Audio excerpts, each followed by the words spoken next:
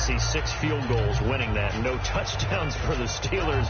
It was an interesting affair. It really was, and while Pittsburgh never got into the end zone, found a way to win it with six field goals, Kansas City did get into the end zone, but not... Trying to hit the tight end Bennett, but it's intercepted.